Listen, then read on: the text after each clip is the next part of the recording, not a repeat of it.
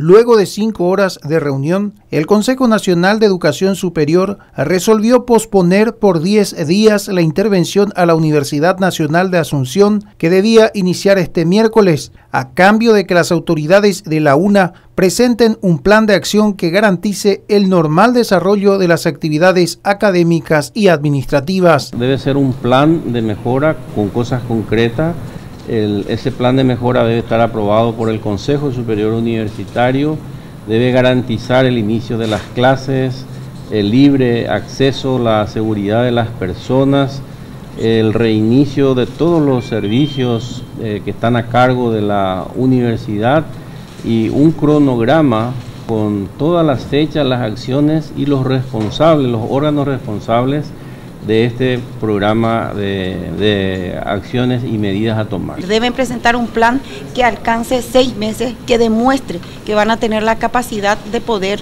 eh, restituir eh, la vida y la organización institucional.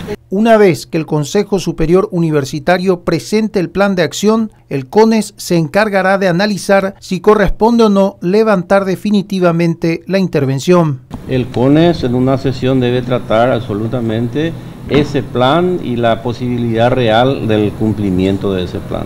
Porque hoy sabemos de que existen facultades eh, sin autoridades prácticamente, sin decano, vicedecano y sin consejo, y también sigue con muchos problemas hasta el día de hoy en muchas de las unidades académicas. Entonces, ese es el compromiso que necesitamos tener de la UNA con un compromiso del Consejo de Educación Superior. La plenaria del CONES no analizó en esta reunión la acción de inconstitucionalidad presentada por las autoridades de la UNA para evitar la intervención. Con imágenes de Carlos Jiménez, informó Claudio Genes para ABC Color.